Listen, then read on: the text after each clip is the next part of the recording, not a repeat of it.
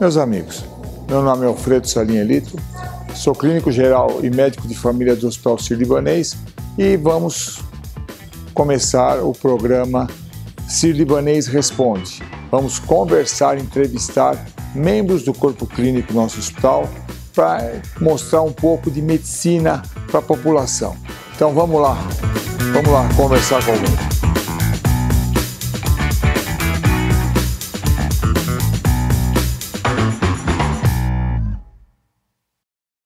No programa de hoje, vamos falar um pouco sobre vacinação. Vacinas, tema muito importante na atualidade. E não poderia deixar de chamar dois membros do corpo clínico do Hospital Sírio-Libanês para falar sobre esse assunto.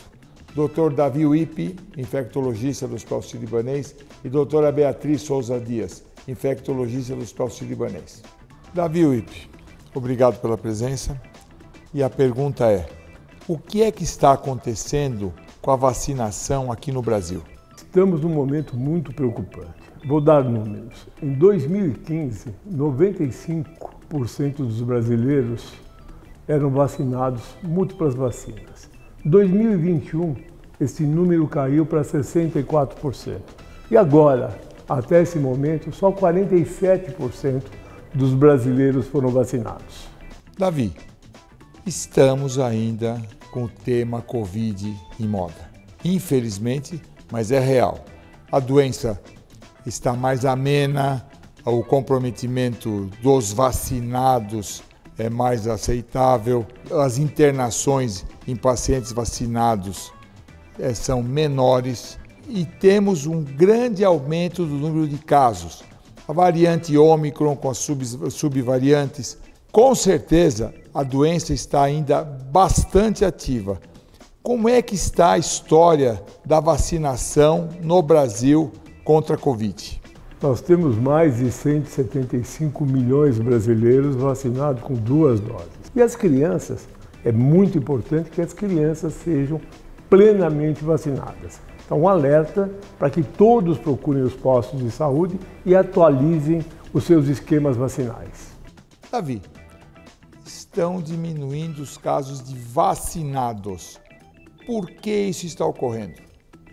O principal motivo são as fake news. Acreditem, as pessoas falam contra vacinas. Não há um trabalho científico que demonstre que os efeitos adversos são maiores que as vantagens. Vacina é um dever público, não é um direito individual. Doutora Bia,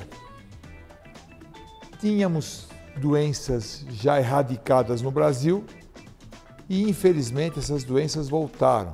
Quer dizer, provavelmente há uma deficiência na vacinação. Fale um pouco dessas doenças.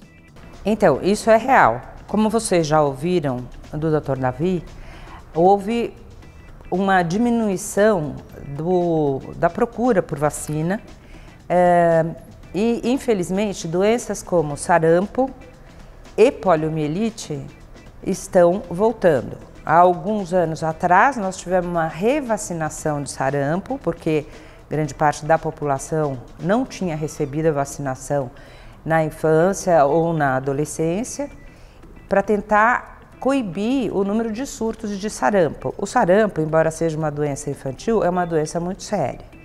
E uma doença que vitimou muitas crianças no mundo, que foi a poliomielite, e que estava erradicada no Brasil e na maior parte dos países do mundo, também está voltando por deficiência da vacinação. E agora vocês já podem ver e devem atender as campanhas nacionais de vacinação contra a poliomielite. Bia, muita gente imagina que existe só vacinação para crianças. Então eu queria que você esclarecesse a, a, a, sequência de vacinação. Quer dizer, existe vacinação e reforço de vacinas e vacinas próprias até para idoso. Dá uma ideia do, do que significa vacinação no ser humano em geral. Obrigada pela pergunta, Salim. Isso é muito importante, porque a gente tem em mente que vacinação é coisa de criança. Até muitos anos atrás, isso praticamente era real. O que, que a gente via na época? Por exemplo, na minha residência, que vão-se muitos anos, a gente via idosos com tétano na UTI de tétano do Hospital das Clínicas, porque as pessoas deixavam de se revacinar ao longo da vida. Então, vacina não é coisa de criança. Vacinação de tétano tem que ser feita primariamente na infância e depois reforçada a cada 10 anos ao longo da vida. Aqueles que perderam a vacinação na infância, porque moravam em lugares remotos, enfim, por qualquer razão, tem também que refazer o seu esquema vacinal durante a adolescência ou mesmo na vida adulta, e em particular os idosos têm vacinas específicas. Além daquelas revacinações necessárias, como eu dei exemplo do tétano, após os 50 anos, você tem, por exemplo, a vacina Shingrix, que é uma vacina contra herpes zoster. Herpes zoster é aquele mesmo vírus da catapora que você teve na infância e que se reativa e dá muita dor que às vezes não fica só durante o período da doença, mas pode durar semanas, meses ou anos até.